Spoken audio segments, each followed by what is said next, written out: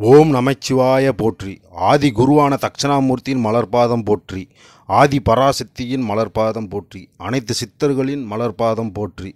என ஈண்ட வாழைத்தாயின் மலர்பாதம் போற்றி. ஜெய் போலிநாத் ஜெய் வாழைநாத். ஓம் நமச்சிவாய. ஹாய் மை டியர் ஃப்ரெண்ட்ஸ் எல்லாத்துக்குமே வணக்கம். நம்ம பாவக்காயோட மருத்துவ குணத்தை பற்றி பார்ப்போம்.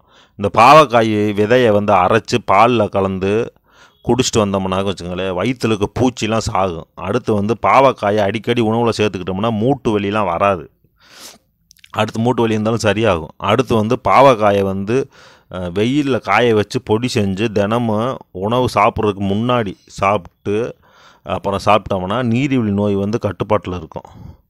அடுத்து வந்து பாவற்காய் செடியை இலையை செடியில் இருக்க இலையை சாரை ஒரு அவுன்ஸும் எடுத்து அதில் நல்லெண்ணெய் ஒரு அவுன்ஸு கலந்து குடித்தோம்னா காலராக குணமாகும். அடுத்து வந்து பாவக்காய் சாறு எடுத்து பாவக்காய் சாறு வந்து ஐநூறு மில்லி எடுத்து அதில் வந்து ஓமம் நூற்றம்பது கிராம ஊற வச்சு அதை உலர்த்தி பொடி செஞ்சு தினமும் அஞ்சு கிராம் அளவுக்கு அந்த பொடியை சாப்பிட்டு வந்தால் பெரும் வயிறு வந்து கரையும். அடுத்து வந்து பாவக்காய் சாறில் வெந்தயத்தை ஊற வச்சு உலர்த்தி பொடி செஞ்சு தினமும் சாப்பிட்டு வந்தால் குடல் நோய் சர்க்கரை நோய் இதெல்லாம் குணமாகும். உடல் வந்து பலம் பெறும். அடுத்து வந்து ப அந்த பாவக்காய் இலை இலையை அரைச்சி சாறு எடுத்து ஆசனவாய் புண்ணில் ஆசனவாயில் இருக்கக்கூடிய புண்ணில் தடவுனா அது வந்து சீக்கிரம் ஆறும்.